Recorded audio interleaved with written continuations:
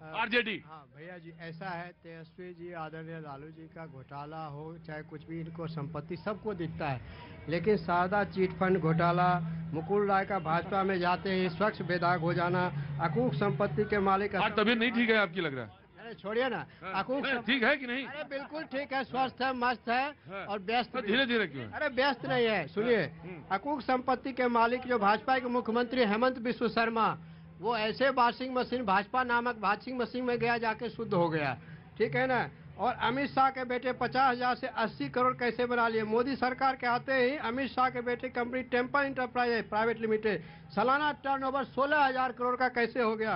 कर्नाटक के पूरा WhatsApp company लाए हैं। ठिकाने आठ करोड़ रुपया कैसे बरामद अरे रुकिए भाई रुकिए जस्ट गिव सेकंड हाँ। मेरे को एक बात बताइए आप कि उन्नीस छियानवे में पटना इतना कह दीजिए कह देना काफ़ी था कि इतने घोटाले हैं गिना नहीं पा रहे हैं। खत्म हो जाता बात। हाँ हाँ। पटना हाई कोर्ट ने उन्नीस छियानवे में आरजेडी की सरकार होते हुए सरकार के खिलाफ लालू जी के खिलाफ सीबीआई केस के लिए चलाने के लिए सीबीआई को बोला था। तो उसमें बीजेपी थी क्या? अब बताओ उनके पाँच घोटाले वहाँ उन्होंने चार घोटाले पाँचों में सजा आता है।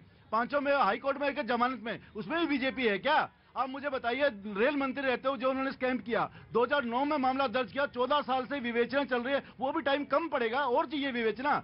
क्या कहना चाहते हैं कि ईडी और सीबीआई जो भ्रष्टाचारी हैं, उनके खिलाफ काम ना करे? जी जनाब जिस तरह से जजों को ईडी में लाया गया है पूरा देश संविधान पूरा देश जानता है कि न्यायपालिका का अपना विजिलेंस है। उनके सारे कई डिस्ट्रिक्ट जजों को मैं जानता हूँ जिनको घर भेज दिया गया दस साल की नौकरी के अंदर। ये क्या है? ये जजों को डरवाने के लिए इस तरह की बातें की जा रही है मीडिया के अंदर कि हम ईडी ईडी जो है अब जज को भी पकड़ेगा। क्या डरवाने की कोशिश करिए? डरवाना नहीं तो और क्या है? क- बेंगलोर के अंदर एक विधायक का बेटा के पचास लाख रुपया मिला। उसको नहीं दिखाई दे रहा है। इस पाँच करोड़ बाद में मिला, हम पचासे पटके हैं अभी। इसकी, ये इन लोगों को नहीं दिखाई दे रहा है। ये सारी चीज़ें, अगर कोई कह रहा है, आखिर देश में इनके खिलाफ भी तो माहौल बन रहा है, लोग सड़कों पर क्यों उतर रहे हैं? अयोध्या में बचा हुआ दीपक का कड़ुआ तेल, दलित के बच्चे बोतल में भर रहे थे, वो नहीं दिखाई दे रहा है इनको। वो नहीं दिखाई दे रहा है। दलित के बच्चे कड़ुआ तेल जो बचा हुआ दीपक का भर रहे हैं, और दवाई के बिना लोग मर रहे हैं। अस्पतालों की हालत जाके देख लीजिए। ये बड़ी बड़ी बातें करने से कुछ नहीं हो सकता है। आप सबको समझना पड़ेगा। जी। लास्ट पैनल के। यहाँ पर बंधु ने कहा कि किस तरीके से जाँच चल रही है? नौ साल हुए जुडिशरी जुडिशरी पे। भी अटैक किया इनने। मेरा ये कहना है कि अपने राजनीतिक इंटरेस्ट के लिए आप जुडिशरी को इस गंदे डिबेट में मत लाइए। आप आ, मैं मैं बता रहा हूँ मैं बता रहा हूँ। आप जब कह रहे हैं कि जजों को डराने की कोशिश हो रही है तो ये गलत है।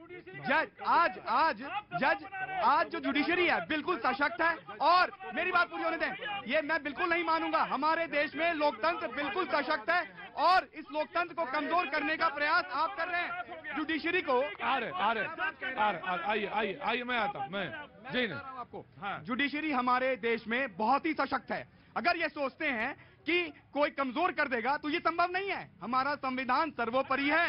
मैं आपको बता दूँ आज की तारीख में हमारा जो जुडिशरी है वह बिल्कुल स्वतंत्र रूप से काम कर रहा है और यह भ्रम फैलाने का प्रयास कर रहे हैं सारे नागरिकों में कि हमारा लोकतंत्र खतरे में है। जो जो कांग्रेस पार्टी का- कांग्रेस पार्टी बनी थी सेफ्टी वाल अरे आएँगे जब बोलना था तो बोले नहीं पार्टी हाँ। से एक सेफ्टी वाल्व के रूप में ह्यूम ने कहा था स्वयं कि हमें अठारह जैसा विद्रोह नहीं चाहिए हम एक सेफ्टी वाल्व बनाएँगे वही काम आज राहुल गांधी सेफ्टी मैंने थोड़ा चेंज किया था।